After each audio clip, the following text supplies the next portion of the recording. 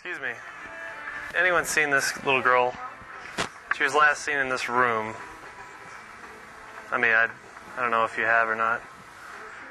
Have you seen this girl? I haven't been down here in a while. No? Alright.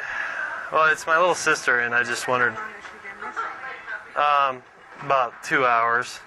But I don't want to go to the police because something happened with her and this horse, and you know, it's it doesn't it's it's not a pretty thing to talk about.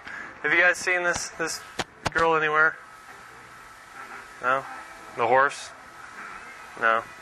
So I guess there is a horse ranch over there, but I mean that's where she found the horse, and she had it sitting outside here in one of the parking stall things, and then she was in here eating by herself, drunk, and I don't know. And because she was mad at the horse, I mean, they had some sexual relations. But are you sure you haven't seen this this girl then? You asked the man. How old is that girl? She's about 23. I mean, she In doesn't.